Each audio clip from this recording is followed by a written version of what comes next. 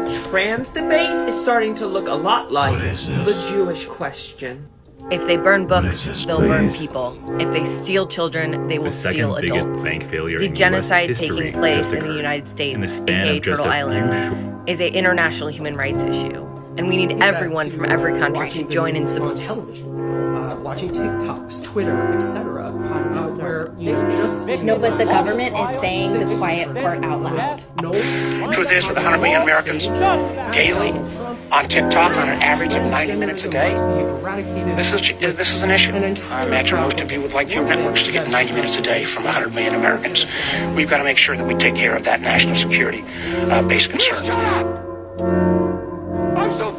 Just yesterday, we saw our first national anti-transgender And I just anti-transgender want to ask a simple question. Why can't we leave trans people alone?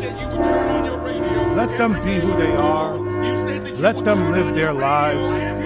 Let's stop Buddhism, discriminating against every them day you simply were born again. Every day is your birthday. Who we are. Today is my birthday, Different. and I And love get them in the the same chronic way we should love all blues. human beings. Something They that I want to hang out with their friends. They want to live their lives. is one. Let cry. them live their lives. That's it. Why are Republicans so uncomfortable with this?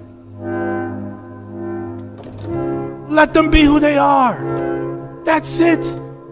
They're not bothering you. So just chill They're out. not taking You know, your drink a seven money. up, eat a moon pie, Let them live. quit live. murdering people. Just like you want your friends and family to live and have freedom and have rights and have choice. well Let the on their trans way. community Both kids and adults who are trans will lose the right to Let them transition. Live. Unfortunately, House Resolution 734 did pass committee as of this morning. It's going to go for a full Canada vote in the House of granting Representatives. asylum to transgender people leaving the United States and our family members. There are 30,000 people on that list. That's where we're at. kind of collapses time. Suddenly, you find your whole days blending together to create one endless and suffocating loop. Transgenderism must be erased. Uh, Governor Youngkin, look at me.